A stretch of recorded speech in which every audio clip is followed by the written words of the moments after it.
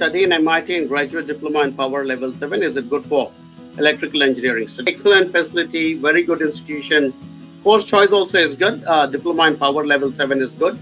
Uh, and electrical engineering. If you're not working with us, I strongly urge you to work with us because just getting into MIT and into that course is not enough.